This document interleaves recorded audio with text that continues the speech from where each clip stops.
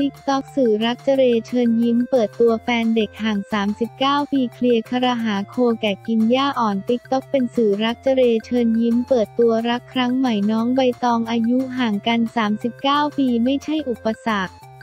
เคลียร์ดราม่าโคแก่กินหญ้าอ่อนโต้ฝ่ายหญิงมาปอกลอกรับลูกชายไม่ปลื้มนักแสดงตลกจเรเชิญยิ้มควงแฟนเด็กใบตองปุณยิสาแม้อายุห่างกัน 39 ปีไม่ใช่ปัญหาเผยรักครั้งนี้มีติ๊กต็อกเป็นสื่อกลาง แถมทั้งคู่ยังคลั่งรักกันสุดๆ แต่รักครั้งนี้ยังไม่ง่าย เพราะลูกชายยังไม่ยอมไฟเขียว ทุกประเด็นในรายการคุยแซบโชว์ออกอากาศทางช่องวัน 31 ที่มีเป็กกี้สีธัญญาและอาจารย์เป็นหนึ่งเป็นพิธีกรดำเนินรายการ เจอกันได้ยังไง จเร พรมลิขิตครับ เจอกันในติ๊กต็อกแล้วไปเจอครั้งแรกพูดคุยกันธรรมดาแบบเพื่อนฝูง มันมีเหตุการณ์ที่ต้องเจอกันคุยกัน คือช่วงใกล้จะวันเกิดเขาเขาจะมาปรึกษาเราในช่วงวันเกิด ผมไม่ได้บอกว่าจะเซอร์ไพรส์ ผมไปร้านสติกเกอร์ตัดเป็นวันเกิดของเขา มันเป็นความรู้สึกว่าผู้หญิงคนนี้ทำไมต้องสนใจว่าจะจัดงานวันเกิดให้เขา ก็ไปซื้อเค้กเซเว่นเทียนไหว้พระป้ายสติกเกอร์ ใบตอง ก่อนหน้านั้นมีคุยคุยปรึกษาในเรื่องติ๊กต็อกมากกว่า หลังจากนั้นก็คุยปรึกษาหลาย ๆ เรื่องตอนนั้นไม่ได้คิดเรื่องจีบเคารพเขาเหมือนพ่อคนหนึ่งไม่ได้คิดว่าจะมีวันนี้ได้ น้องบอกเคารพเหมือนพ่อ จเร ทุกวันนี้เดินไปไหนมาไหนเขาบอกลูกสาวสวยจัง อายุห่างกันกี่ปี เจเร 39 ปี มีช่องว่างระหว่างวัยไหมใบตอง ไม่มีค่าส่วนมากจะเป็นการแซวเรื่องกินมากกว่าเจเร มันเป็นความห่วงใยมากกว่าไม่ใช่ว่าจะจีบเลยเขาปัญหาเยอะเราจะรู้ปัญหาเขาเขามาปรึกษาเราก็แนะนำในสิ่งที่ดี ที่ผ่านมาไม่ดีให้ลืมมันไปมองไปข้างหน้า ไม่ได้เริ่มต้นด้วยความรักเจเร ใช่ครับไม่ได้จีบด้วยซ้ำใบตอง ความห่วงใยของเขาแค่โดนมีดบาดนิดหน่อยเขาก็โทรมากระวนกระวายมาก ถามเป็นยังไงบ้างไปหาหมอไหมหนูเลยคิดว่าทำไมผู้ชายคนนี้เป็นห่วงเรามากขนาดนี้ ก็เริ่มคุยกันเรื่อยๆ ปรึกษากันเป็นห่วงด้วยเจเร เวลาผมไปถ่ายละครหรือไปต่างจังหวัด เขาจะขึ้นช่องของเขา ผมก็จะขึ้นช่องเล็กเวลาขับรถมาเล่นติ๊กต็อกไม่ได้ เขาจะส่งผมตั้งแต่ที่ทำงานยันมาถึงหน้าบ้านจนเปิดประตูเข้าบ้าน นั่งคุยเป็นเพื่อนเหมือนไปด้วยผมดีใจที่มีคนมาห่วงใยผมดูแลผมเพราะผมไม่รู้อนาคตผมเป็นยังไงถ้าเกิดผมลื่นล้มเดินไม่ได้ใครจะดูแลห่วงมากไหม ใบตองห่วงมากค่ะห่วงมากกว่าตัวเองซะอีกไม่รู้เพราะอะไรไม่ได้หึงห่วงแต่เป็นห่วงเหมือนพ่อลูกมีกังวลไหมเพราะเรื่องราวของพี่เจเรก็ไม่ธรรมดาใบตองมีนิดนึงถ้าเราก็บอกเขาบ้างเป็นบางเรื่องเป็นบางครั้ง ตลกขึ้นชื่อเรื่องเจ้าชู้กังวลบ้างไหมใบตอง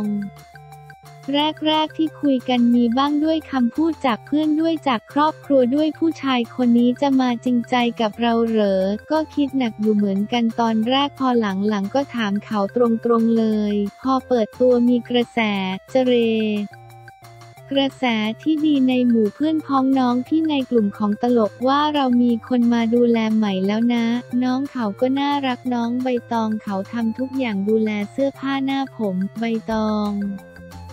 พ่อแม่โอเคค่ะที่ได้เจอผู้ใหญ่กว่าดูแลเราได้ ให้ความรักความอบอุ่นเราที่บ้านเข้าใจหมดมีเพื่อนบางคนในโซเชียลว่ามาเกาะกระแสหรือเปล่า เขาเป็นศิลปินตลกที่มีชื่อเสียง มีด้านดีก็มีด้านลบเขาพูดว่าไงบ้าง ใบตอง ประโยคแรกที่ได้ยินเลยคือไปหลอกเอาเงินเขาหรือเปล่าพูดต่อหน้าเลย เราเลยบอกว่าเรารักใครรักจริงไม่ได้คิดว่าเงินเป็นใหญ่สำหรับหนูความรักซื่อสัตย์ดูแลซึ่งกันและกันต่างหากคิดไหมว่ารักครั้งนี้จะต้องเจอคำถามแบบนี้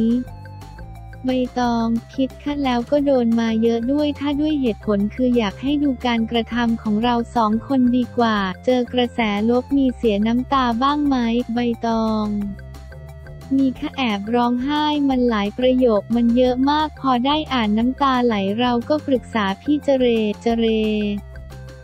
ผมบอกว่าคนมีปากเอาไว้พูดอย่าไปถือสา ทุกคนไม่อยากเห็นใครดีกว่าตัวเอง กระแสนี้ไม่ต้องเป็นห่วงคนเรารักกันดูแลซึ่งกันและกัน ถามว่าจะมาปอกหลอกไหมผมมีอะไรให้น้องปอกลอกแล้วน้องมีอะไรให้ผมปอกลอก บางคนบอกหลอกกินเด็กหรือเปล่า เจเร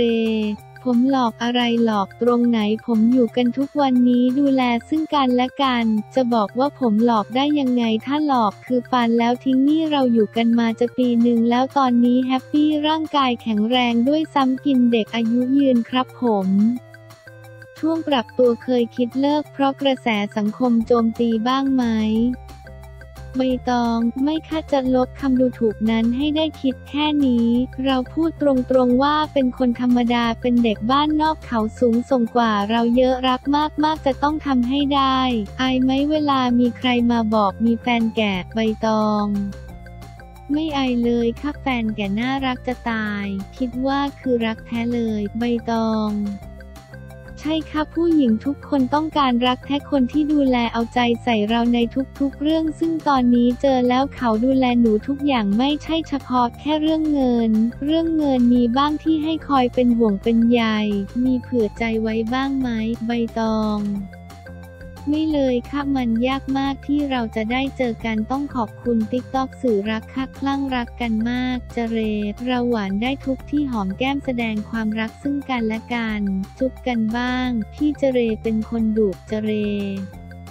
ถ้ามันไม่มีเหตุผลก็ดูแต่เป็นคนไม่หึงมีตวาดจนเขาร้องไห้เจเร มีเรื่องอาหารการกินส่วนใหญ่ทะเลาะกันเรื่องนี้เราก็แบบสบายสบายๆผู้ชายกินอะไรก็ได้ ใบตอง น้อยใจค่ะด้วยความที่เรารักเขามากอยากให้เขาดูดีเวลาออกงานแล้วเขาเป็นคนที่ลืมชอบตวาดแล้วบอกว่ารำคาญตวาดบ่อยค่ะแล้วเรื่องกินอีกอย่างหนึ่งถามว่ากินอะไรก็จะตามใจซึ่งกันและกันกอดว่าอีกร้องไห้น้ำเสียงเขาดุมากๆแล้วหน้าตาเขาจริงจังเจเร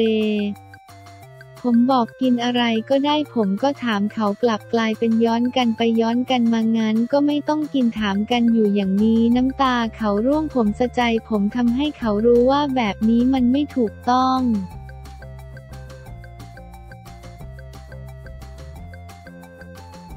อนาคตจะจดทะเบียนไหมเจเร เรื่องแต่งยังไม่มียังไม่ได้วางไว้เรื่องจดทะเบียนก็ไม่อยากจะจดทะเบียน ผมไม่อยากจะตีตราผู้หญิงคนนี้ไว้ว่ามีคู่แล้วนะ ผมคิดว่าการจดหรือไม่จดไม่มีปัญหาในการใช้ชีวิตคู่ ลูกชายไม่แฮปปี้เจเร หลังจากที่ผมกับภรรยาแยกทางผมอยู่กับลูกชายอายุ 19 เขายังผูกพันกับแม่และตัวผมเขาเป็นเด็กที่คิดเยอะและคิดมาก เขากลัวว่าผมจะรักทางนี้มากกว่าเขา เราบอกเขาว่าพ่อมีพี่ใบตองแล้วนะ พ่อจะไปมาหาสู่ หรือพี่ใบตองจะมาอยู่ที่บ้านเรา เราพูดไปเขาเฉยเขาพูดคำหนึงบอกเขายังไม่พร้อมเราก็บอกโอเค ให้ระยะเวลามันพิสูจน์แล้วกันว่าการทำความดีของน้องใบตองที่จะเอาชนะลูกชายได้มันก็ลำบาก เพราะเขาโลกส่วนตัวสูงเขาจะไม่สนใจทั้งสิ้น ตอนนี้ผมก็ยังไม่ได้พาใบตองเข้าบ้าน มีโอกาสเจอลูกชายพี่เจเรบ้างยัง ใบตองยังแค่มีส่งของไปให้วันเกิดที่ผ่านมาก็ฝากของไปให้เจเร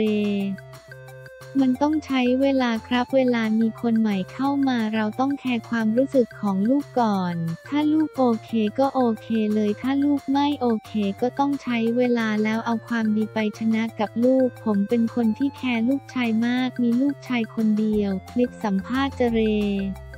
เชิญยิ้มใบตอง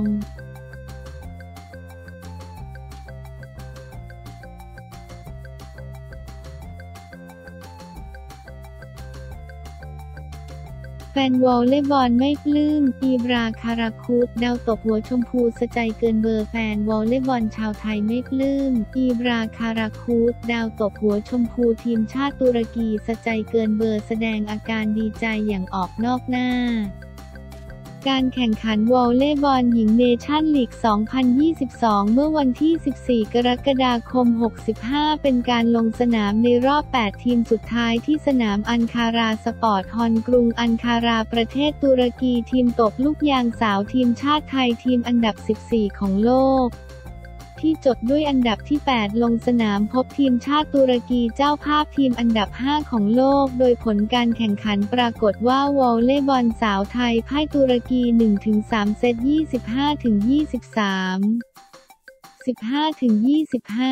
15-25 18-25 และ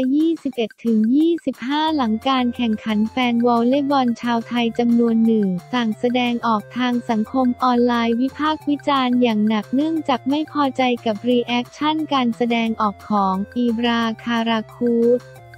นักกีฬาวอลเลย์บอลหญิงทีมชาติตุรกีที่ดีใจอย่างออกนอกหน้าบางจังหวะหันมาสะใจใส่ผู้เล่นทีมชาติไทย